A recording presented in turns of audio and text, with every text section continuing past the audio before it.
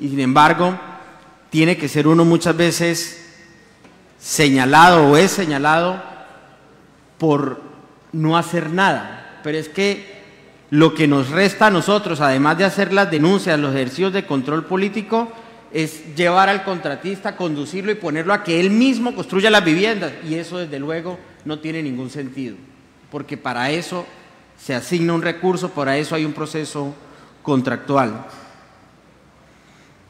Frente a la postura de la administración departamental, debo retomar allí, perdón, para cerrar el tema de, los, de la reflexión de los entes de control. ¿Y saben por qué los contratistas no se ruborizan con estas prácticas? Porque los entes de control no hacen nada. Entonces ellos saben que se pueden hacer los de la vista gorda y que absolutamente nada les va a pasar. No les van a perseguir sus bienes porque la Contraloría no hace su trabajo fiscal. No los van a meter presos porque la Fiscalía menos va a adelantar una investigación que dé lugar a una responsabilidad penal. Y la responsabilidad disciplinaria pues no la tienen. Y en ese sentido, pues como decía el diputado Elías, si a mí me llegan 5.800 millones en el 2022 y yo tengo ganas de cambiar el carro, pues hagámosle que igual yo tengo casa, los que están sin casa son los de Arauquita, no mis hijos, y no pasa nada. Esa es la realidad. Frente a la postura de la administración departamental, yo entiendo su posición, comunidad, en el sentido de la urgencia, la premura de querer ver su vivienda construida. Y aquí hay que recordar que la administración departamental es una sola, pero hay que distinguir en las acciones que se han adelantado en una y otra administración.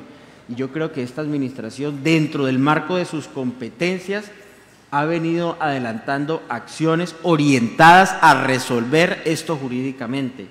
El contratista pide cerca de 12 mil millones de pesos, no le basta con los 20 mil que ya le dieron, quiere otros 12 mil millones de pesos para resolver la circunstancia. La administración departamental de manera sensata y después de hacer un análisis técnico, según nos manifiesta la arquitecta, ha propuesto 2.300 millones de pesos para resolver la situación.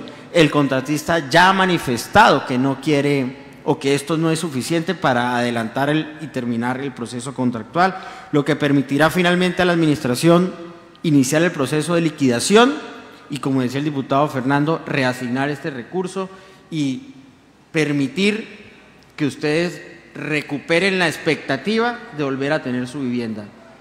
Esto lo digo yo en menos de un minuto, pero la realidad es que esto puede tardar más de lo que ya han esperado.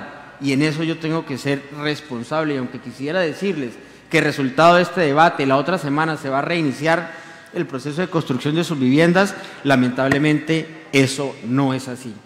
Y vamos a tener que seguir teniendo paciencia, más de la que han tenido, para que encontremos por fin la solución a esta a esta problemática, pero sí quiero decirles, comunidad de Arauquita, que valoro y destaco las acciones que la administración ha adelantado frente a la solución de esta problemática. Y aunque ustedes quisieran que fuera su paisano mismo el que les dijera, el ingeniero Renzo, el que les dijera, mire, lo vamos a hacer de esta manera, tengan en cuenta que al final lo importante es la solución y que su equipo de gobierno, representado por Germán, que también es paisano suyo, por la arquitecta, por los jurídicos, están tomando las acciones que hay que tomar para que esto se resuelva.